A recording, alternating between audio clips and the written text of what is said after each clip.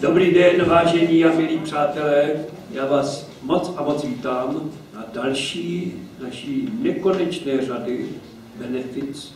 I když vždycky ta řada se někde zastaví a, a takové zastaveníčko, to dnešní zastaveníčko, bude s komíníkem. To už tady vidíte. Ale jak to vlastně s tím komíníkem bylo, to možná mnozí třeba trošku možná to tušíte, ale není na to, když to přijde povědět ten, který skutečně zažil kominické řemeslo, umí ho, já myslím, že ještě dnes, protože o některých lidech se dá říct, že nestárnou.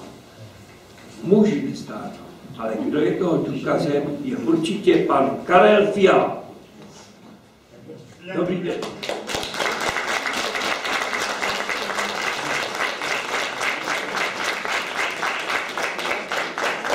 Dobrý večer, dámy a pánové, nebo spíš holčičky, chlapci, mládeže tady. Tak takhle vypadá limonádový je po 50, téměř 50 letech. V 64. měl premiéru, tedy za rok slaví 50 let. Já vím, že člověk stárne, já stárnu s ním, s tím filmem, ale já bych vám chtěl říct, že 38 let jsem vyznával lásku na scéně Karlínského divadla, na které jsem se dostal náhodou po nezdařeném vystoupení v Národním divadle, kde mi nevyšel jeník v prodané městě. Takže 38 let jsem vyznával lásku na scéně Karlínského divadla svým kolegyním, nebo říkáme my v operetě svým subretám. A jednou jsem zřejmě tu lásku vyznal tak hezky a opravdově, že kolegyně Vlková to vzala vážně, od té doby se jí nemůžu zbavit. Nemáte to nějaký...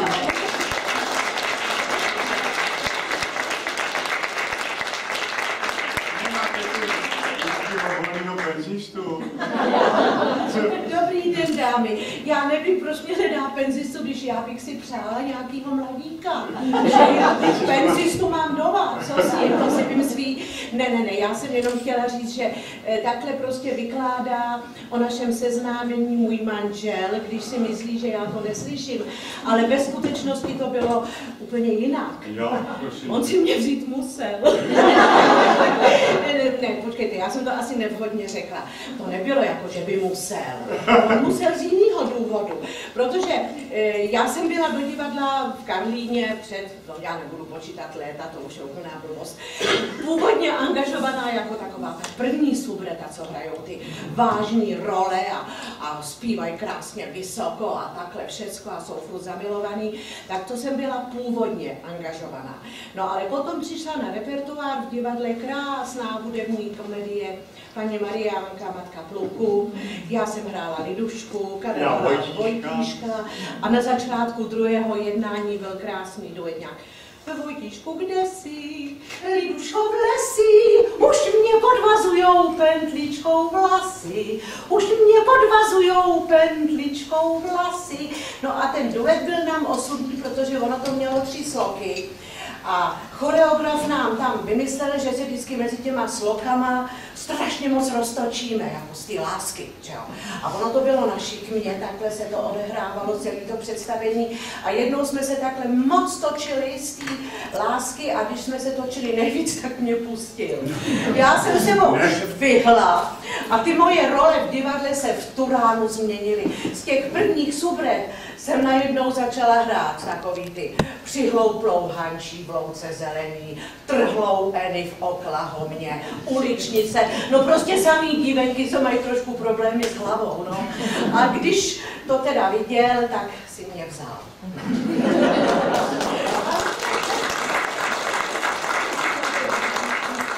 Si mě mě vzal a hlavně to se mnou vydržel, no kolik, 48 let, to jde, ne, to jde.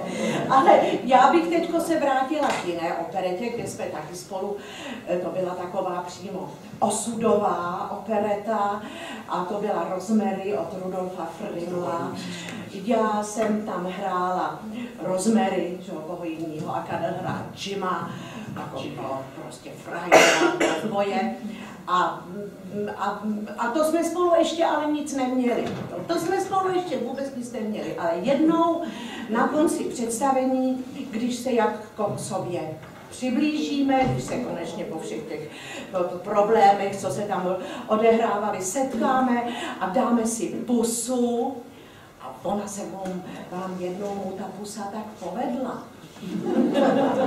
se to tak zalíbilo, tak jsem si hloupá myslela, že to tak bude celý život. No není, takovou pusu už jsem v životě nedostala, no ale tak jsme se po té puse vzali. No, takže vám zaspíváme indiánskou píseň lásky.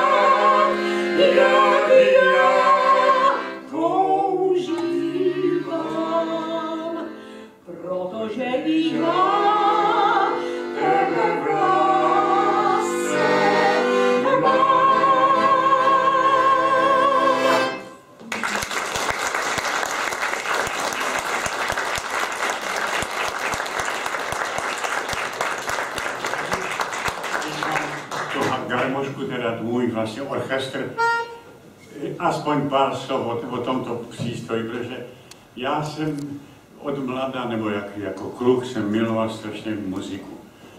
A tatínek komíník, maminka v domácnosti a já, jak vidíte, jsem se nakonec vyučil komíníkem, ale tu muziku tam prostě pořád ve mně vládla, táhla mě, chodil jsem na všechny možné opery už tenkrát jako kluk, viděl jsem pana Žítka, mojeho kamaráda, a říkám, že já musím taky něco se dělat. No prostě chci vám říct, že celý ten můj život směřoval k tomu, že jsem se až dostal nakonec na, na vrchol, teda vrchol podle mě, tím, že jsem dostal cenu tálie, to bylo pro mě, já jsem skoro nedýchal. Ale chci se vrátit k operetě, protože v Karlínském divadle můj šéf Oldřich Nový, který mě vlastně angažoval do divadla, říkal, Karle, mám pro vás hezkou roli. A říkám, koho? bola polské krví od Oskara Nebyla. Říkám, Ježíš, no, co jako, no to je takový, takový typ chlapa, jak seš ty. Má rád ženský, penízky, chlast, eh, masy karty a tak dále.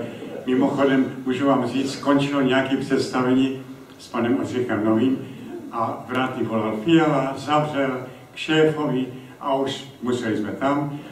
Hráli jsme mariáš, museli jsme pana Ořicha nechat vyhrát, protože jinak by s námi nemluvil. No nicméně mi obsadil do této krásné role a my s Věruškou vám zaspívali z toho několik melodií. Polská krev, polská nedbal. Jsem kavalírkový, jak vám se nehodí, služka si pouhá přes divná s láskou nelze hrát, jen štěstí vám chci přát. Prohledejte dál, jen hledejte dál, tu pravou si najdete s nás. Hledě na ní vzácna paní, vy mějte dík, vy jste si jistá svou hrou. Pane vzácný, kdy to vyjde a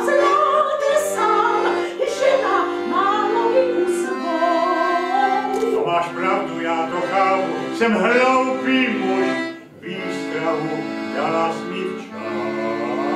Pane vzácný, pane vzácný, pane vzácný, pane vzácný,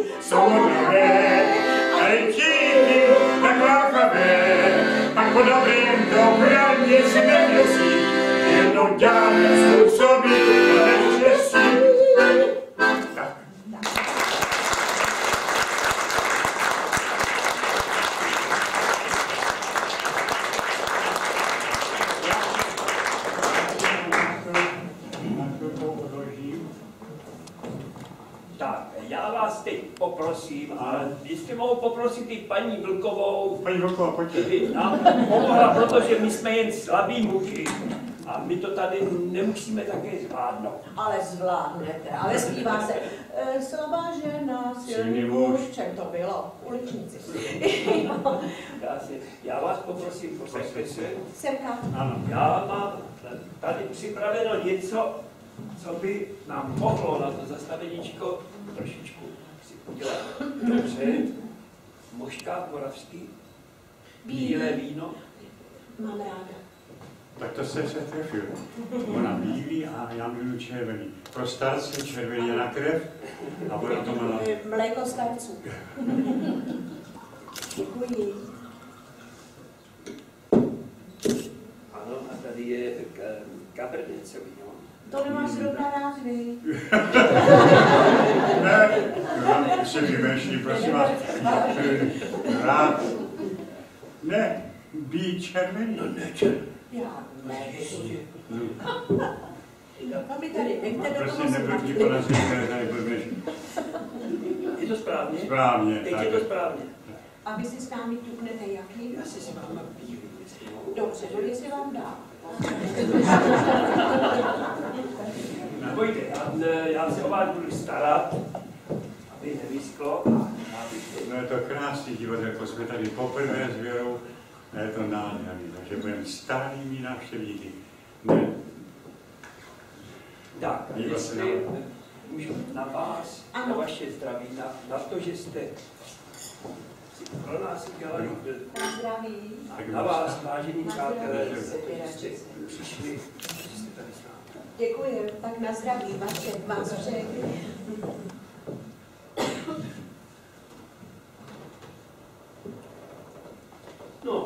Povedlo se. děkuji. Můžu začít zase, nebo Máte nějaký? No já bych, jestli můžu, jestli můžu se zeptat, my jsme začali komunickou historii, ale vlastně ji neznáme celou. Jenom takové náznaky, to, co jste, to, co jste prostě i vy řekl, že jste vyučil kominíkem, ale jak vlastně to vede, že se z komíníka od komínu dostane člověk do operety do Prahy. Až do národního. No tak do národního. Ano, přes národní divadlo do operety. Takže u mě to bylo tak. Tatínek celý život komíničil, maminka v domácnosti, jak jsem říkal, tak co mě čekalo? Nám Němci zavřeli, já jsem chodil do gymnázia v Ostravě a Němci, mě, já byl v kvartě a Němci nám zavřeli školu. Nějaký, já nevím, oktavan a několik oktavanů, byly tam nějaký prostě problémy s Němcema, zavřeli je a zavřeli samozřejmě školu. Takže taťka říkal, no chlapče, co s tebou, tak půjdeš ke mně do učení. Tak jsem se začal učit v Ostravě komíníkem. Ty první dny, kdybyste mě viděli, jak, jak cukrář.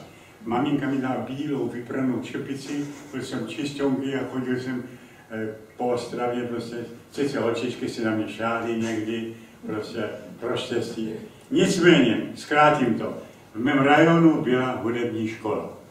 No a já, tím, že jsem miloval, jak jsem říkal, zpěv, tak hodil jsem kouli do komína a začal Zdálo se mě, má panenko, dnes v noci o tobě. Prostě jsem vyřával všechny národní písničky, které jsem uměl. A vždycky jsem musel dolů panu školníkovi nechat podepsat knížku, že jsem pracoval.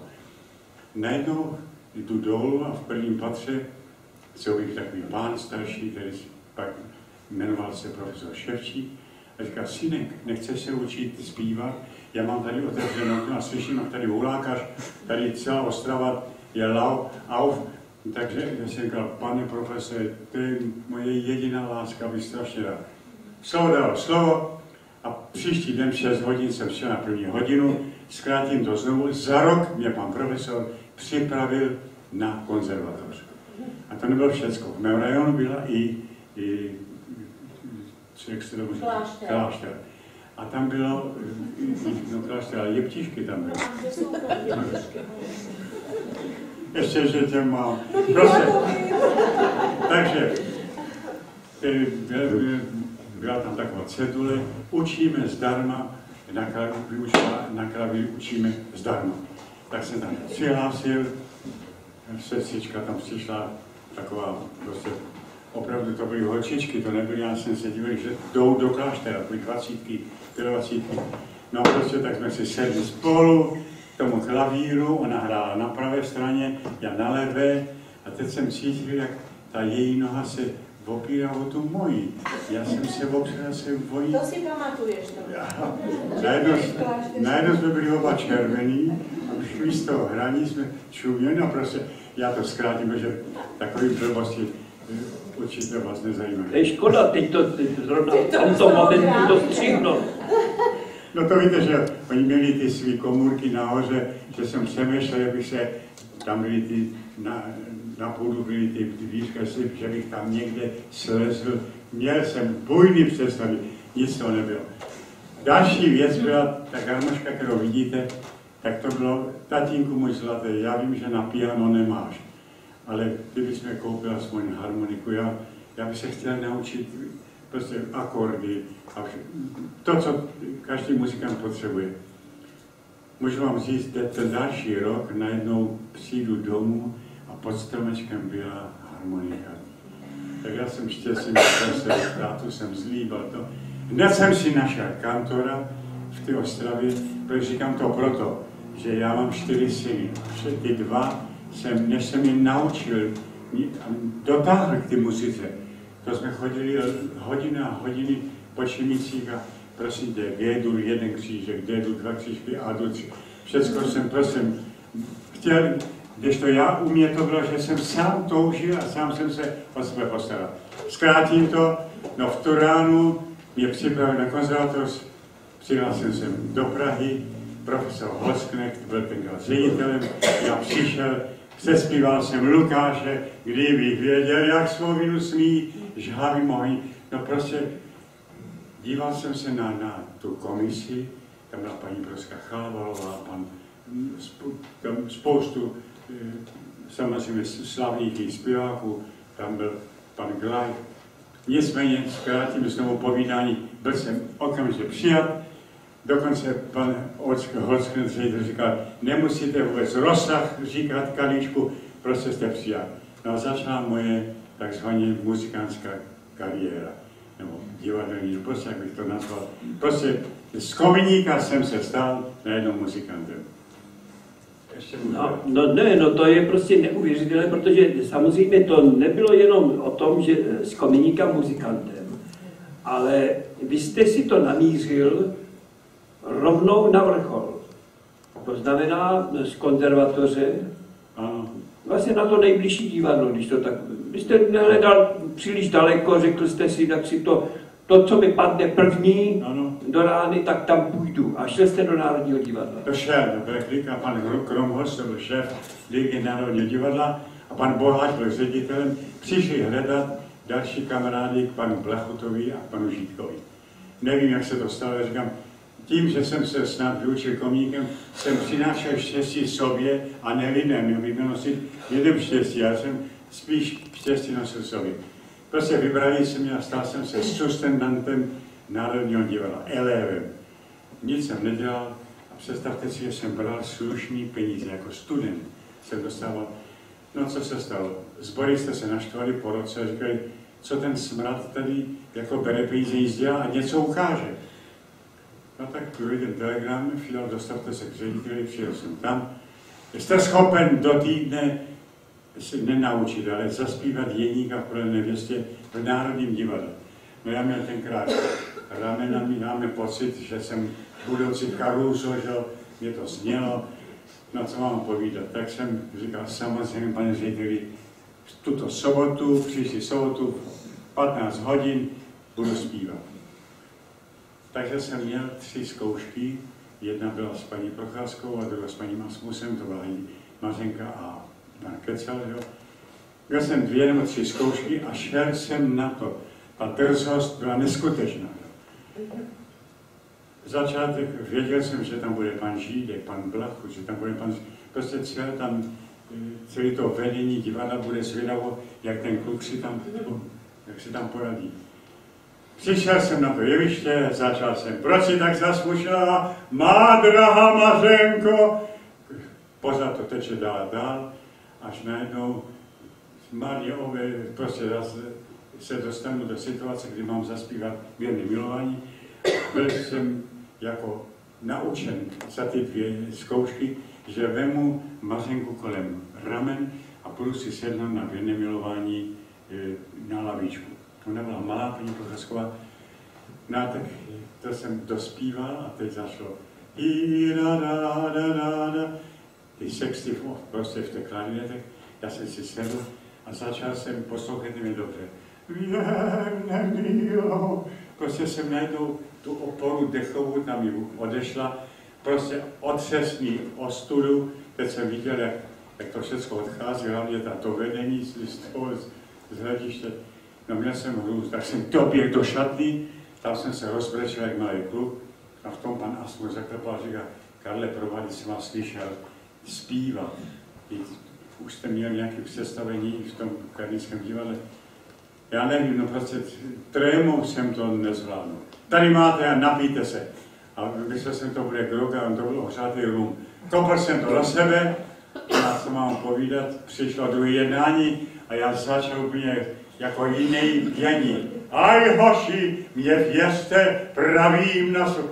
Tu krásenku, to hačko jsem tam napálil, po jak možná na dlouhotrvající aplaus. Nicméně všechno bylo už v háji. No a druhý den zase já telegram, dostavte se, fialo, nestavte se, ale ty začátky musíte zkusit někde jinde. Naštěstí v hledišti byl pan Oldřich Nový a Karlínské divadlo by mělo o vás zájem tím začal, zase mě někdo někam posunul, náhoda nebo štěstí. Přišel jsem tam, Oldřich Nový říkal, tak eh, Karle, jste schopen do měsíce se naučit cikánského barona, Baringa je v cikánském baronu, je hlavní postava prostě v, tomto, v této operetě. Já říkám zase, frajer, který zvládne všechno. Tentokrát už jsem dopadl to dobře, přišel jsem na to jeviště a začal jsem Tichánský brárod, jsem, vlastně jsem to odspíval, takže jsem byl přijat a v Karlínském divadle, už jsem na začátku řekl, jsem byl 38 let jsem zpíval tam ne, já bych se jenom chtěla vrátit k tomu Národnímu divadlu, protože když bylo v roce, já nevím, teďko, abych nepydala, jak byla udělaná rekonstrukce Národního divadla, tak jsme tam byli s naším nejmladším synkem, tomu bylo asi 7-8 roků. A to byla taková boule, baculatá, brejlatá, takhle. A my jsme seděli v té loži a Karel mu takhle vykládal, jak tam zpíval Jeníka, a jak prostě tohle to neřekl, že se to nelíbilo, no prostě jak byl úžasný a tady jsem Tomášku začínal. A on na něj takhle čuměl přes ty brejle a říkal, tatínku, a to bylo před vyhořením nebo po vyhoření? no, a ještě bych chtěla říct, že já jsem vlastně to, když Gadel teda hrál toho Bárinka, je v tom cikánském baronovi, tak to bylo vlastně poprvé, kdy já jsem slyšela, že nějaký fiala existuje. Já jsem tenkrát seděla, jsem chodila do tanečních, seděla jsem v kadeřnictví a tenkrát se dělali takový ty proplejtaný drdory. Mě tam česala paní vlastička a babi si tam povídali, teda Karlíně je tak krásný chlap, nějaký nový, já měla, pak jsem do Karlína ani nechodila, a, no, ale není to Čech, bude to asi nějaký cizinec, protože můj manžel, jak on je ten ostravák, tak on má špagatky. On má všechno krace. Jo? A oni mu nikdo nerozumí, tak si mysleli, že je to nějaký jugoslávec. No tak, tak jsem slyšela vlastně já prvně o tom, že existuje nějaký Kalefia. Dobře. Ostravaci to je, my to máme daný, že Krátce. Jistě, jistě, jistě. No já myslím, že je tak správná chvíle, abychom um, si přiblížili nádhernou roli, která je vlastně kusem Národního divadla, ale vy jste tuto roli hrál ve filmu ano. Už jako člen hudebního divadla v Karlíně. Říkám to tak správně. No, je to samozřejmě Dalibor. Ono se e, často soudí, že pan Karel Fiala natočil jako první slavný film Eh, limonádového joe, no to daleka není pravda.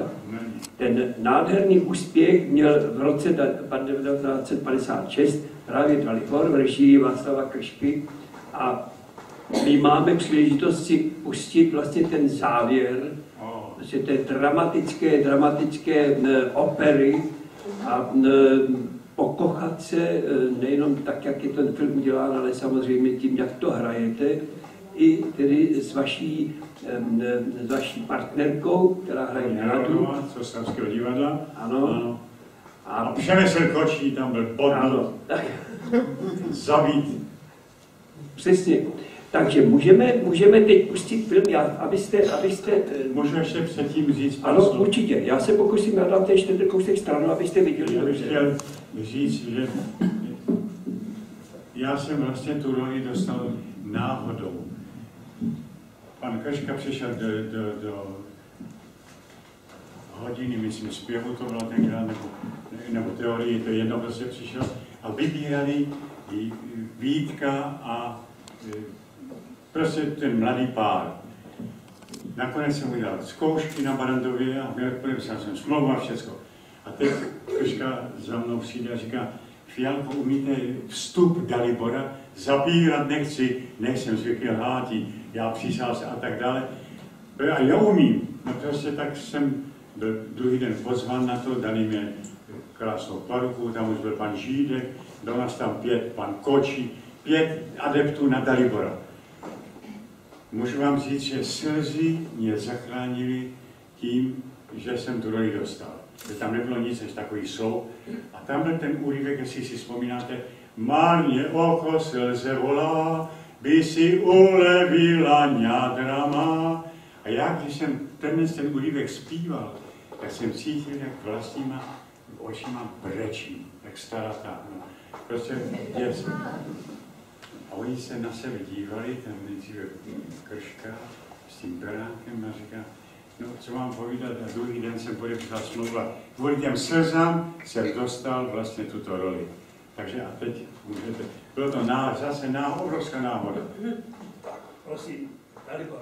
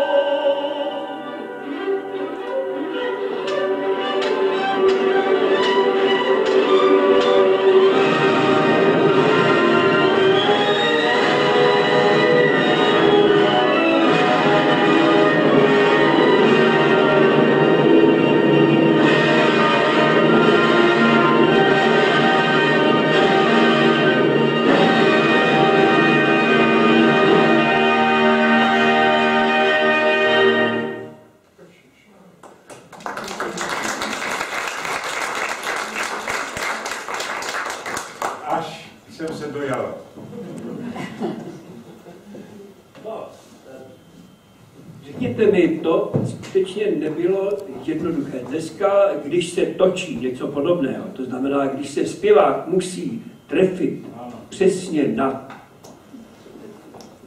hudbu, na Na zpěv, playback. na playback. A tady v tomto případě to byl playback, vlastně z něj zpíval a tady zpíval pan Bleno To jsme zapomněli, zapomněli ještě Pro mě říct. to byla obrovská čest. A to mus, musím říct pár slov, protože Beno, Benoš, cože? Benoušek, když se dověděl, že se bude točit Dalibor, tak věřil, že tu roli bude samozřejmě nejen zpívat, ale i hrát. No a bohužel prostě dopadlo to tak, jak to dopadlo, takže jeden čas mi neměl moc rád, dokonce byl si ještě vypadený kdekoliv. Prostě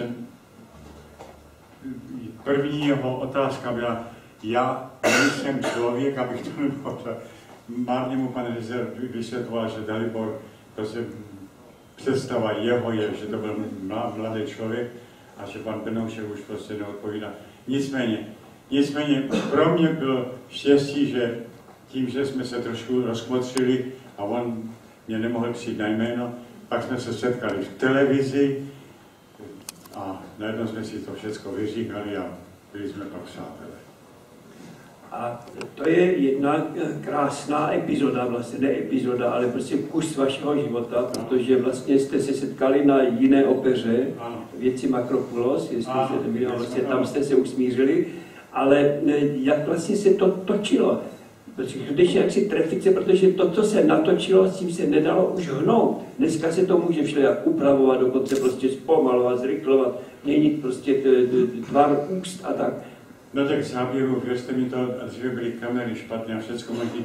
Některý záběr jsme točili, já jsem točil třeba 15krát. Když jsem se tam měl rozbrečet, tak jsem desetkrát se musel rozbrečet, vždycky se donutit, měl jsem kliku, protože mi říkají, jak mi to říkali, plačtivý, plačka. Hre, plačka. Já dokázal prostě se desetkrát za sebou vlasíma, ne, žádný glycerinové slzy. Brečel jsem vlastníma slzama. Nevím, čím to bylo, jsem se začal litovat nebo co. No prostě takže někdy, věřte mi to, 15krát jeden záběr, minutový nebo dvouminutový, znovu, znovu. Pak kameraman, kamera, kamera eh, odešla, tak znovu jsme čekali dvě hodiny, eh, prostě někde jsme se procházeli. No, máte pravdu, bylo to někdy velmi složitý. Dobře, tak to máme tedy eh, skutečně jednu hauptku, těch hauptek prostě velikánskou, Dalibora. Ale to je vlastně začátek té vaší hvězdné kariéry, ale my víme, že ta kariéra vlastně byla celá dlouhá léta spojena s tímhletím hledištěm. 38 let. Ano, 38 let hudební divadlo v Karlíně. Já jsem schválně tady ukázal obrázek, jak to vypadá z jeviště Karlínského divadla, když máte před sebou tu obrovskou tlamu hlediště, protože To je jedno z největších, ne vůbec největší hlediště, eh, které v Čechách máme.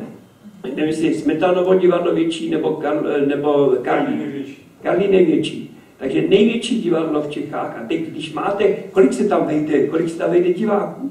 Kolem tisícovky. Když, jo, tisícovky. Když já jsem nastoupil, tam bylo 1700 míst. 1700 míst. Pak 1500, pak já nevím. No prostě až teď je to nějak kolik, 800, asi 800 míst teď je v Karlínském divadle. Takže 1700 míst lidí, kteří na vás koukají a vy musíte zpívat tak, aby vás slyšeli i nahoře. Hlavně, aby diváci věděli, že, že my jsme neměli ty mikroporty, prostě každý máte tu mušku a prostě ten zesil, ten rozhlasový, co tam je vzadu, mu prostě zesílí ten hlas. My jsme museli těch 45 nebo někdy 50 lidí v tom orchestru, orchestru to osazenstva, a 45 zborů, ne, nechci přešvat, přespívat. Byly situace, kdy jsme měli generálky a vzadu seděl pan Spáčil, režisér, a ten už jinak neuměl, protože nemohl to přeřvat, tak když, nám, když jsme nám nerozuměli, tak pískal na nás. Ale on se dával, to jste říkali, až tady nahoře, na, nahoře se tom druhé balkóně úplně vzadu. Ano, no. A by... Bylo to dřina obrovská, člověk musel vydržet. A někdy jsem měl dvě představení, no to potom vám budu vyprávět ještě, bohu, co se mi stalo při Paganíným slavným. Aha, to máme tady, máme tady fotografii, tak se můžeme hned samozřejmě podívat, ale předtím je tady Madame Favál s Oldřichem Novým, vaším, vaším miláčkem, ale pojďme se eh, teď um, soustředit ano, na tuto roli, na Paganini. Pan Matička, no, víte si představit, že každý eh, člověk, který v orchestru má svůj nástroj, housle, violu, i bubeník má buben, prostě, ale my zpěváci máme ten svůj nástroj v krku jakkoliv chřipka, nachlazení, najednou zjistíte, že to nejde. A když taková máte před sebou, jako by bylo představení Paganino, tak jsem okamžitě volal, pane řediteli, nezlobte se, ale já opravdu dnešní večer nemůžu vystoupit. Karle, vy jste se zbláznil. Je tady autobus, nebo dokonce dva autobusy z Bratislavy. Přijeli se podívat na toto představení. Udělejte něco ze sebou. Říkám, co? tak počkejte, tak přijel pro mě, foniatr mě dotáhl, ten mi vystříkal krk, takovou vodičku zvláštní, malem jsem se to, máte pocit, prostě celý hrtan máte víc takový e, znecitlivě. Nedám se objevil, že fáze se mi objevil, tak říkám, tak pane řediteli, na vaši odpovědnost já to zkusím. Tak jsem přišel, to první jednání jsem cítil, že už mám toho plný zuby. A teď druhé jednání máte nejslavnější vůbec je árie, nebo bych řekl píseň Paganiniho Líbám, že vás tak rád, nevím proč rád, kdo by se... To prostě krásná píseň a lidi vždycky na to čekali. Jo. A já vždycky to peško jsem tam narval, že jsem aplauz. A teď já začal a teď jsem cítil, jak ten hlas mi odchází. Takže končilo to tím, že už jsem zpíval vás. Ženy jsem ukazoval, líbal prostě děs a dokončil ta, ten, ten reference, jsme dokončil a lidi ze slušností mi začali plácat. Co myslíte, že ten blázen dirigent udělal? Znovu, pí, da, da, da, da, da, da, da, da, da, pí, a já začal, já ho zabil, něco měl po ruce, já musel celou tu Ari odrecitovat celou. Líma, ženivá, teď jsem chodil od jedné ke druhé. Můžu vám říct, mě takovou ostudu, byl jsem mokrý až na, prd, na tom. Řeknu to Čilidovi na prdej, opravdu jsem mokrý, protože to si nemůžete představit tu ostudu zažít. Těch, to je, to je čtyřminutová a píseň, ono to nemá konce, a teď je středa. A on se usmíval. Můžu vám říct, skončilo. Druhý jednání jsem letěl k němu a teď byl to starší pan, pan Kvasnica, takový ten. Já říkám, kdybyste byl trošku mladší, tak opravdu se neudržím, mám jednu a utek si pryč. No nic, dopadlo to nakonec všechno dobře, všechno jsme si vysvětlili, říkali, no ale i takové věci se vám stanou tím, že máte ten nástroj prostě v krku. Pojďme se ale vrátit k Olcichonovému, protože to je určitě vzpomínka, kterou nemůžeme vynechat. To byl tedy váš šéf, byl to režisér, byl to kolega na jevišti. On byl vždycky v těch filmech velmi noblesní. Gentleman, každý gentleman. gentleman. Opravdu. Já si to dávám dohromady, když je na jevišti spor, orchestr, solisté a teď samozřejmě vrcholí nervozita, jsou poslední generálky, poslední zkoušky a nejde to a nejde to. Zvýšit hlas, ne, on pořád měl tu svou roli a vím, že ty bys mohl taky o, o Cikonově něco říct. Ty co zažila jako žačka, ne?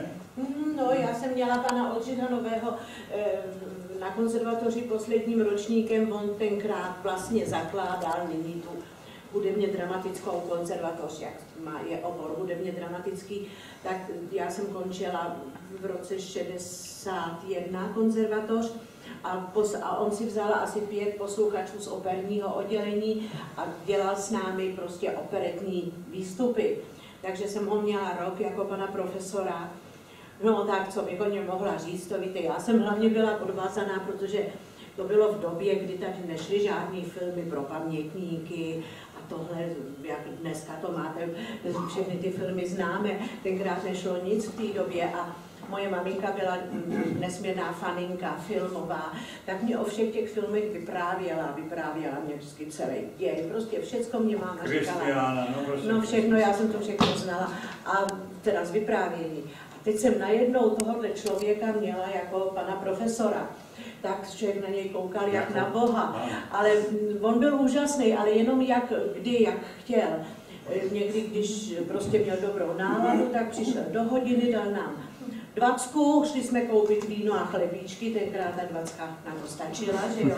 A, ale když náladu neměl, tak nás pořádně proháněl. No a potom shodou okolností, když já jsem 61. tu konzervatoř končila, tak jsem hostovala něco za, za jednu těhotnou kolegyni na Fidlovačce, to ještě Fidlovačka bylo samostatné divadlo a on tam, on byl tam a tam, tam ale, ale nechtěl mě angažovat což byla tenkrát pro mě klika, protože potom se stal uměleckým šéfem eh, v hudebním divadle, teda ve státní operetě Karlín a já jsem tam šla vlastně hostovat tu moji první roli v tom, černovském muzikálu Slavnost Harlému, no takže jsem tam už potom zůstala, takže mm, a pak jsem s ním hrála na jevišti třeba, jak jsem hovořila o Rozmery, tak to režíroval pan no. Oldřich Nový. Hrála jsem s ním nitušku, tu nitušku jsem s ním celou natáčela v rozhlase a to takže pak, pak jako si na mě, on mě totiž do začátku pořád říkal, že jsem tlustá.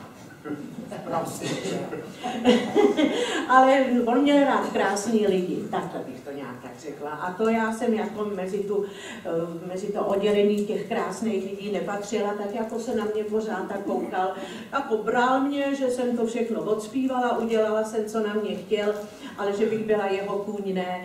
No ale pak, jak jsme spolu dělali tu litušku a tak, na mě zvyk a šlo to, no. Ale byly to hezký, hezký doby s tím panem Oldřichem. No, by jinak on byl děsný ješit a my jsme nesměli přehodit ani, ani slovíčko ve větě, nebo prostě nic, to se muselo všechno pintlik, tak, jak to bylo napsané. No a já jsem vždycky byla ukesaná, že jsem se vždycky radši jako měla jenom dané téma a dělej, co umíš, a to on neměla rád.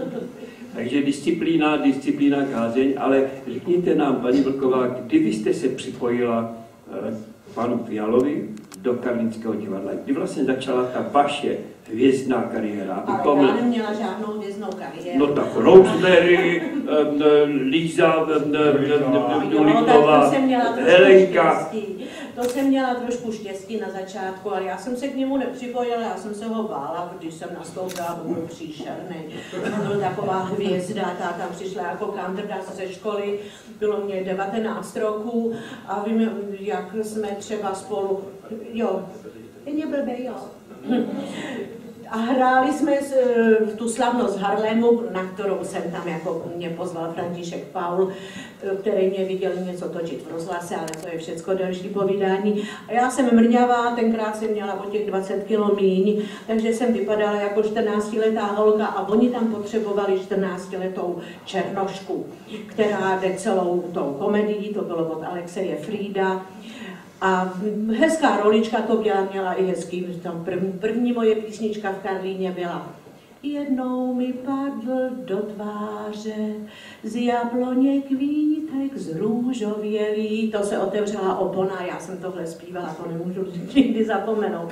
No a to on byl, a Karel v tom dělal Tyma, já do něj byla pochopit, my byli všichni černoši. Já do něj byla pochopitelně zamilovaná a Měli jsme tam spolu takový duet a jako ten duet končil a e, na takovém sudu a on mě měl potom duetu odnést do portálu. A já, jak jsem byla jako rozjetá, jsem to jako, že to protancuju, tak jsem mu šáhla na tu paruku.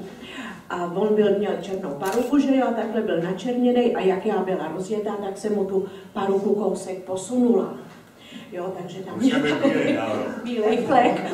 A vím, že jsme přišli do toho portálu, se mnou praštil vozem a řekl mi, těch hajzlíku, kdyby mě ta paruka spadla, tak si to odehraješ sama. To strašně se choval, já jsem z něj měla děsný špundus. No a naštěstí mu to nezůstalo. No ale já jsem právě měla kliku, ono to je všecko na dlouhý, prostě jsem měla kliku, že v zápětí, eh, asi já jsem nastoupila v mých 19 letech a, v roce, a když mě bylo 23, tak byla na repertoáru My Fair Lady. Já jsem dostala tu roli té Lízy Doolittlový, že jo, teda museli jsme na to dělat konkurs.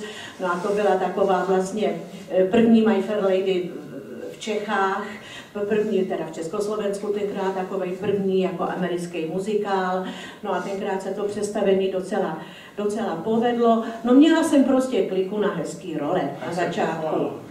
Ale prosím tě. No je to shodou okolností tenkrát, jo, já vím, že ta premiéra My Fair Lady byla v roce 1965, 12. února. Já jsem totiž taková slonice, já si všechno pamatuju. A tenkrát zrovna v ten den byla na, na Broadwayi premiéra toho nádherného filmu s, s, s Ondry Hepburnovou My Fair Lady. A vím, a můj tatínek pořád poslouchal ty svobodné Evropy, nebo já nevím, co to všechno bylo. A oni mě hlásili, teda hlásili, že přejou mladičké Věře Vlkové aby zlomila vás, která má premiéru v Praze. No a potom bylo takový jako velký vyhodnocení, já nevím, jestli to bylo jenom evropský nebo světový, to já až tenkrát se to tady nikde neuvádělo, ale v časopisu Life eh, v Americe jsem měla na titulu hezkou fotku, mám to doma schovaný a byla jsem vyhodnocená jako třetí nejlepší. Já myslím, že to zaslouží prostě opravdu velký potlesk. To je už tak dávno. To je, to je báječně, to znamená prostě, už tedy jste vy oba v Karlíně a já tady mám další fotografii. Já mám další fotografii a to je D'Artagnan, samozřejmě tady asi by člověk neřekl, že to je něco jiného, to musí být D'Artagnany podle toho kříže. No a co tady, prosím pěkně, a co ten na koni, na koni, ano. Si představte, že pan režisér, který to režíroval, si vymyslel, že přijedu na tom koni na jevišti poprvé v Karlínském divadle se měl objevit kůň. A teď vám musím říct, co všechno, co všechno se dělo. Takže kůň, samozřejmě nejdřív jsem si ho vodil za úzdu, pomalinku, teď jsem říkal, zahrajte tu fanfáru dole, orchestr, aby se nelekl, tak jsem se s ním prošel, všechno dobrý, no, tak jsem se na, nasedl a teď Tartaňan prostě vjede na jeviště Karlínské na koni. Teď jsem se dostavil dopředu, jak tam ty trumpety začaly, ten šílen se zvednul prostě, z něho ze zadu mu tam všechny možné kobylince, co v sobě měl, vypadly. Takže ten můj sluha, planšet, planšet, protože to se stalo, každý představení se z odpoštění podělal ten kůň, protože, a to říkal, já tě zabiju. Ty nemůžeš tomu koni poručit, protože on měl takovou lopatku a vždycky to musel zhrábat, že jo, po mně. Já jsem si přijel, no prostě bylo tam, bylo tam veselo s tím. Představte si, že tam bylo představení, představení, které, když to řeknete, nikdo tomu nevěří. Inzerováno v Karlínském divadle se bojuje ostrými zbraněmi.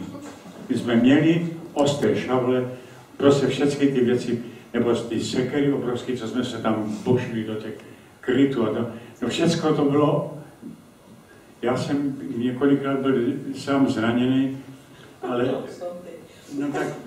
ne, dovolíš, já ti to nedám. To on hrozně rád vypráví, můj manžel, protože že byl několikrát zraněný, ale hlavně, když ty souboje na tom jevišti byly, kde měli takhle stát zbor, balet a přihlížet, všichni odešli, protože on je blázen, jemu dáte do, ruce, do ruky nějaký meč nebo dýku a on jde naplno. On se s tím vůbec, no si takovej lidí zranil přece. Takový lidí si zranil. Ne, že byl zraněn, prostě on, ne, no, no, jo, na tak viděli jsme Dalibora, viděli jsme Dalibora, jak to... Jak, no, to on je kábel, jak má prostě zbraně v ruce, je konec. Dokonce i subretu jsem si lásku pana nového paní Věrušku, Věrušku nejkouzelnější ženská, jakou jsem kdy poznala a on ji bodnul. Ne, bodne a pak se vychytil zlomil jsem mi žebro. To napravil. A jestli si vzpomínáte na závěr, kdy tam eh, s Rošforem se ty vlastní bijou, takže Rizo říká, Karle, prosím tě, máte v levé ruce máte dýku, v pravé flare, on taky. Končí to tím, že mu naznačíš, že ho sekneš a levou rukou přiložíš jenom na záda dýku a on jako padne. Můžu vám říct, co se stalo. Tak já místo, abych to přiložil, tak jsem to zahrál a bod jsem ho. A on, ty vole, jo. Teď ty lidé místo, aby plakali, tak začali řvát smíchy, prostě místo, aby padnul mrtvý. Prostě jeden, No takové věci se mi podařily. No. Čekaj, to ne, ne. A to nejenom to, my jsme hráli, to je uh, mušketýry, ale král Tuláků též měl zbraně. No. Uh, ve West Story pistole. No prostě on měl neustále nějaký zbraně. Ne, ne, ne, sirky na jevišti zapalovat, to vám sirčičky mu nevadí, sirčičky mu nevadí. On má rád ostrý zbraně. Oheň ne. No, nevyhořelo totiž karnické divadlo, já jsem nic takového si nečetl, ne, zaznamenal. No, tady je další fotografie, my to tam máme napsáno česky, nehrají to na mě miláčku, ale to byl německý film, kdy se hrál... Liebling se to jmenovalo. Měl jsem zase chvilku obrovskou. Přišel nějaký pan Hasler se jmenoval režisér z NDR a hledal představitele e, starosty v městečku fotbalisty, prostě hlavní roli, zpívání tam bylo nádherný, všechno možné, tancování. Možná jednou, bohužel jedinkrát nebo dvakrát to pustili v našem, naší televizi a miloval jsem to. Prostě je to role, kde jsem se musel naučit si, představte, velikánskou roli německy. I když jsem jezdil předtím, Verunka ne, ale já jsem jezdil 6 roků do západního Německa, nejdříve z Gräfin Marica, hraběnka Marica, a pak pět roků s Friedemaus s netopírem. Takže jsem ovládal to Německo dokonale. Že? A i tam jsme se museli naučit všecko doslova v Němčině.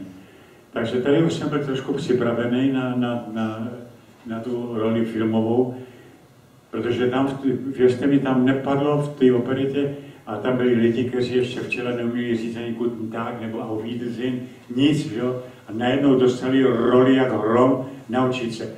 Takže jsme to dva měsíce drželi dennodenně a můžu vám říct, že ty kritiky, které byly v Hamburgu třeba, nebo v Friedrichshafenu, byly obrovské.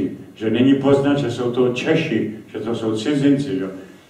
No a přišel jsem do toho, do toho Berlína, že, do takzvané DEFy, známá eh, prostě filmová společnost. No. no a teď mě tam seznámili se vším možným no, a můžu vám říct, že měl jsem nakonec radost, že jsem vlastně neudělal ostudu a vydělal jsem si tam slušný penízky, které jsem tracel za milostivou paní. Dělal jsem s tím marky a teď, co je směšné, jsem nakoupil botičky, prosím tě, babice, tobě, všem jsem nakoupil, Seznámky si postanou.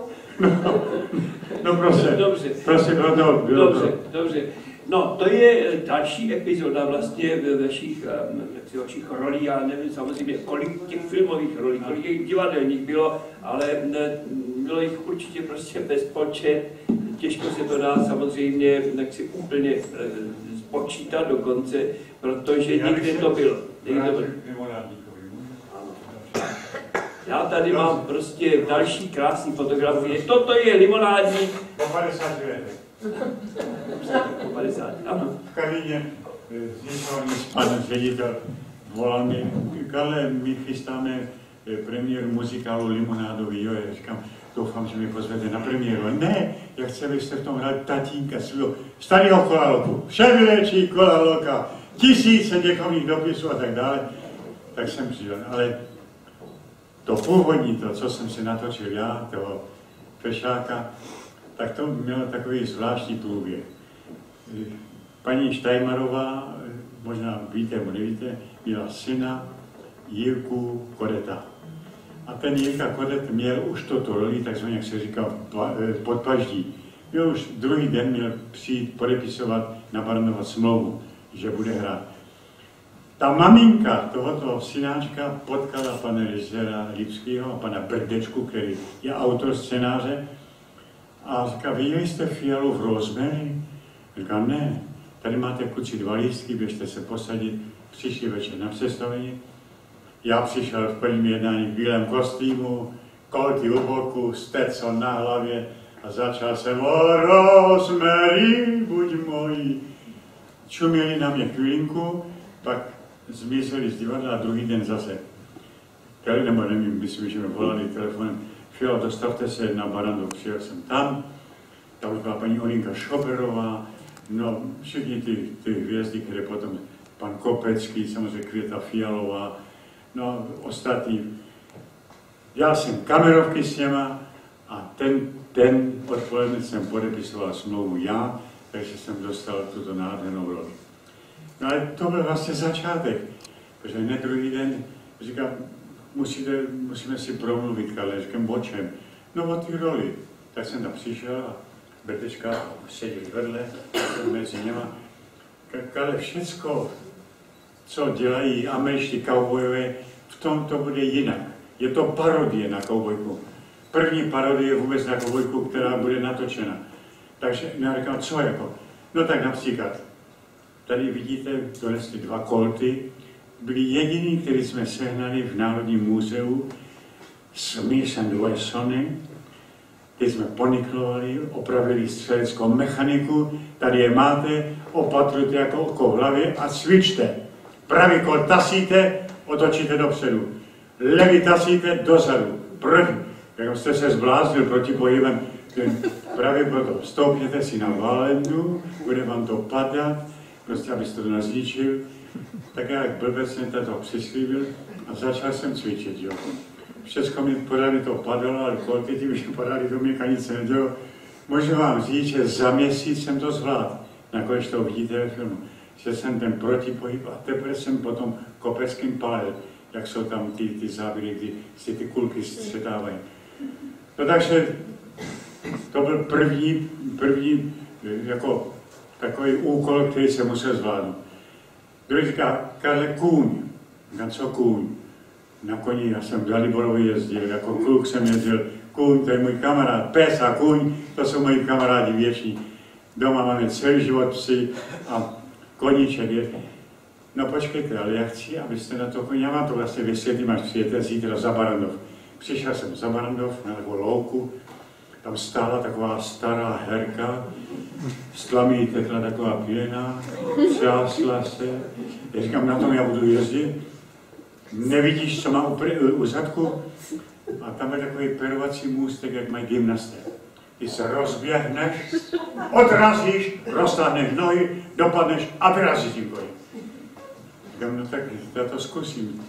tak jsem se odrazil, od tu prdel jsem opak zpátky na záda, zkus, tak mi dali větší. Můžu vám říct, asi po desátém pokusu jsem najednou se do toho sedla dostal. No vidíš, tak. A za týden bylo první setkání s koním a hned, že nasedám prostě na koně. Jak jsem byl jako blondiak a teďko, jo, tak já jsem říkal, a jmenoval se, ten kůň jmenoval se Omen, nádherný, takový ten ty, jestli to znáte, ty, ty krvavý oči, tu tlamu takovou, kam že ten kůň mě zabije, jak pak zabije, zkus to. Tak ho postavili, kde si ho ty chlapi drželi a teďko dali před něj tu odrazový můstek. Já jsem se rozběhl a on v turnamu těma zadníma, no prostě by mě zabil. Takže naprosto zbytečný práce, Říká, ne, takže co jste viděli, vždycky jsem si dal nohu do cmenu a přeskakoval. No a několik historek můžu říct, eh, hlavně jsou to jenom dospělí, tak řeknu takovou trošku sexy příhodu s Olinkou Šovirovou, jestli jste to slyšeli nebo neslyšeli. Vojmětý Ničimové, jestli si vzpomínáte, jsem říkal, dali je napít a zazval alkohol, padl se, mě svázali, přikurtovali mě k takovému prostě kříži obrovskému. A teď Reža říká, chlapi, teď si s tím dělejte, co chcete. Tady máte starý kečupy a marmelády, všechny prostě hnusy. Tak mě vším možným pocákali. A teď si máte kameru z, z, z amfasu zprava, zleva, já si to sestříhám. Prostě dělejte si s tím, co chcete. Kdybyste mi, já jsem pachnul ještě měsíc po tom, po tom mučení. No, proč to říkám? A vedle už byla Olinka Šomerová, ležela na zemi, přikryta takovou zelenou vojenskou houní a, a ty říkala, chlapi, pro vám, mě už je s tím tady dělejte s tím něco, abych mohla vstát. No a teď přišel pan Brdečka, Jo, a ten záběr měl vypadat tak, že ten hlinomas rozkopne ty dveře, strne s ní tu deku, diváci si mají myslet, že se bude to, znásilňovat, ale on se na to zachumlá a uteče pryč. A teď ten Brdečka furt se na ní díval a mu to připadalo, že to není dost sexy, jo. tak se ký se, sehnul a říká, Olinko, nebude vám vadit, když ty vaše dívčí půvaby trošku tomu filmovému divákovi přiblíží. Olinka se zapířila a samozřejmě, že ne. Tak on si kleknul a jak měl ten životek, taky to prostě sundal trošku aby ty prsíčka trošku vynikly, že jo. Ten Lipsky se na to dívá, začal tam na ní, prosím tě, co to si děláte? A narvají to tam zpátky. Já jsem říkal, vy příšerové, tak mojí partnerku budete tady ošáhávat a já nic. Tak jsem si sehnul, klechl jsem si kolince a ty olince jsem to upravil přesně tak, jak se to viděli ve filmu. Takže takže to je jako povídání o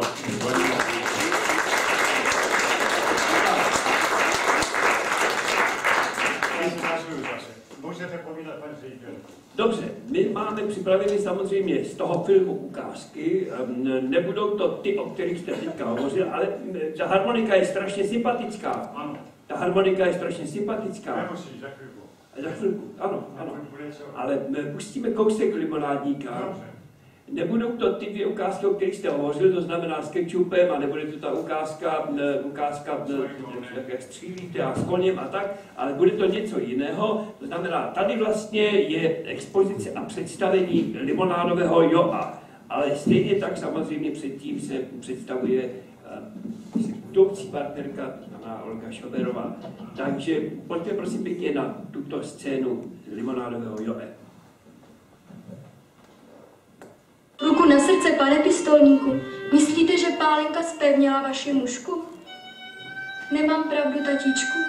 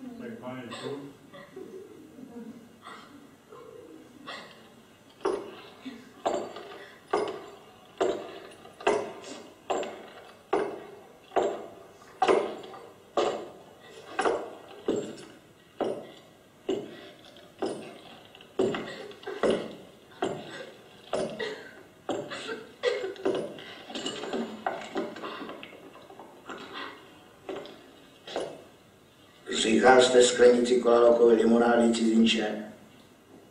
Říkal pistolníku.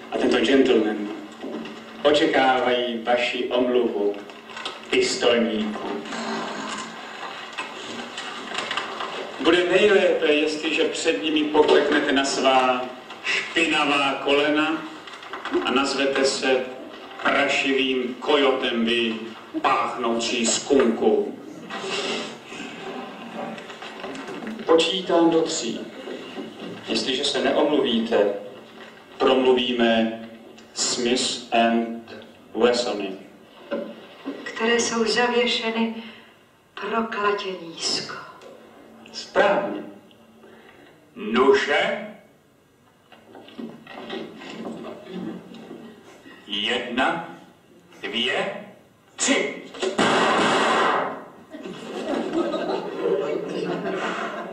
To je on, mého srdce šampion. Jsou tu dámy pistolníků.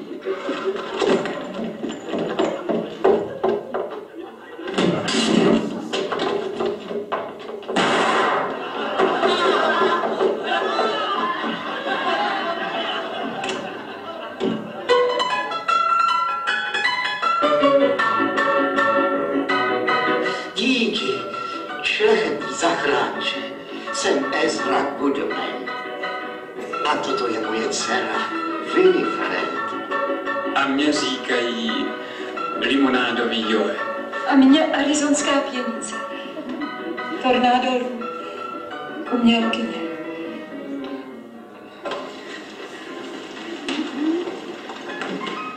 Žádal jsem o sklenici kolalokové limonády. A což raději jednu trigger whisky. Na účet domů. Děkuji. Straním se zásadně lihově. Alkohol nikdy nebyl přítelem pistolníka.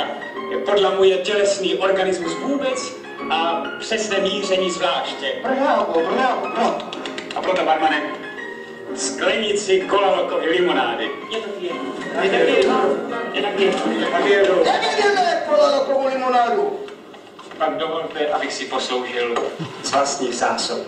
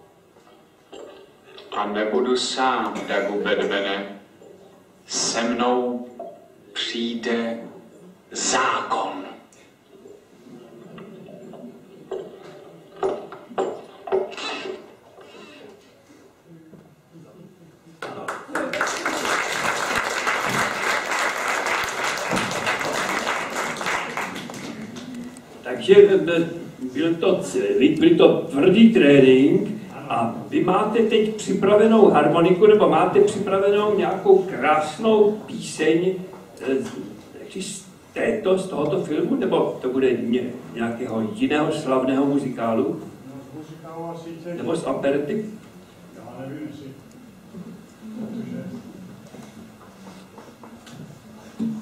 Jako choťák to asi těžko bych odvedl. Já nevím, těžko. Takže spíš nějaký Ale jo, prosím tě, budeme zpívat. Já bych vám ráda zaspívala. Proto jsem tady jako výpomoc. Ne, já bych, eh, já myslím, že operetu už jste slyšeli, že k operetám se už vracet nebudeme, ale já jsem měla takovou, takový štěstí, jak někdy tak člověku přijde, že jsem hrála na jevišti divotvorný hrnec s panem Verichem. Jedn, ten divotvorný hrnec tenkrát hrál pan Kopecký a Míla zavřela, nějak byli oba dva nemocný, takže mě požádali pana, mě ne, požádali pana Vericha, jestli by neudělal se mnou, já jsem dělala v té inscenaci Káču, že bych se mnou udělal takový ty forbíny, že jo.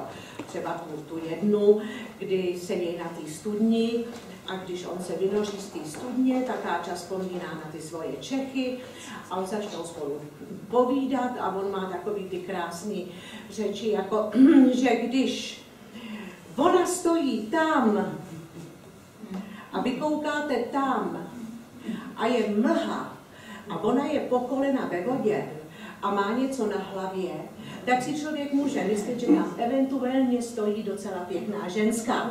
A já jsem právě měla takovýto štěstí, protože tenkrát byl u nás divadle pan Berich v angažmá v té době, kdy nesměl nic dělat a tak jsem s ním prostě dva takový, takový vejšlapy, takový jako forbínky malý, hrála na jevišti, tak na to hrozně ráda vzpomínám, jsem na to pyšná, ale jinak jsem byla mladá a blbá, protože jsme hráli slavněný klobouk a já tam hrála takovou tu užvanou Helenku, co vůbec nemluví, jenom to rád brečí.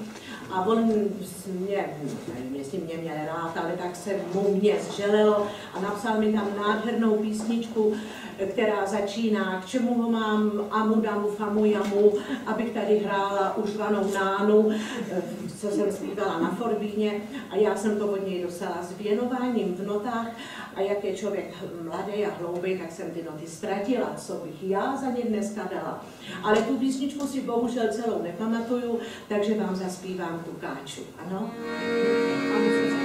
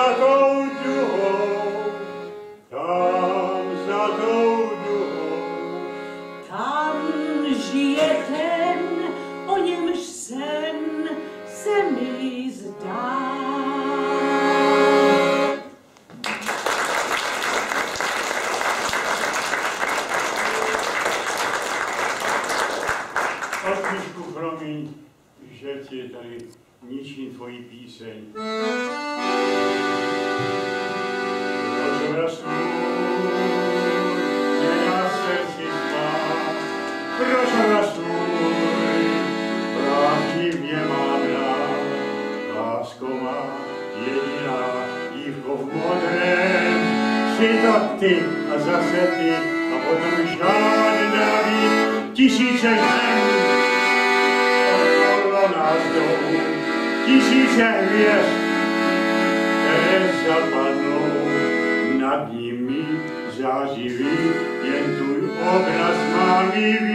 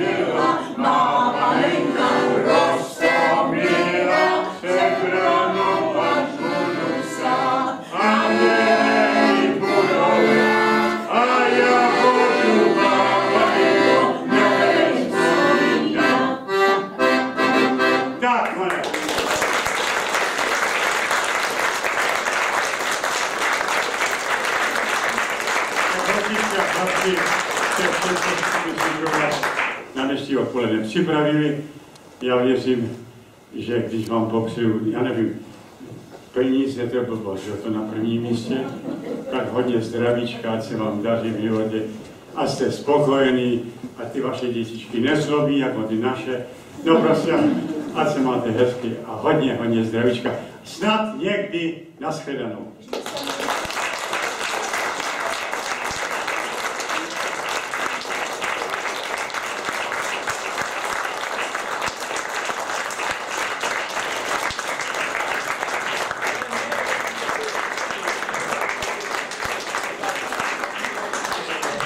Ať vám to vychází v životě kumštu, v tom, jak prostě máte život rádi a jak ho dokážete obdivovat a předávat dalším nádherné radosti, jako vám to vycházelo tady na těch fotografiích. A jako vám to vyšlo dneska. Takže krásné, krásné, krásné, krásné. krásné. Děkuju.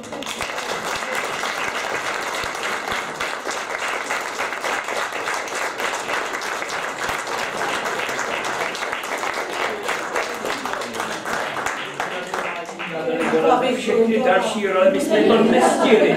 My jsme nemohli samozřejmě vyprávět o dalších rolích, které jsou tady na fotografii, tedy ne tady za mnou, ale tady v tom počítači. A samozřejmě mohli jsme povídat ještě i o rodině. Ano, čtyři synkové mám. Čtyři O čtyři synky, syncích. Syn, ano, o syncích. O syncích, to je takové divné, ale mi to, je dobře, nevím. no. Ale prostě ale věřím, že se nevidíme naposled a těším se opět na naše další setkání a samozřejmě, jakmile něco bude a budete na jevišti, tak já myslím, že jsme tam. No.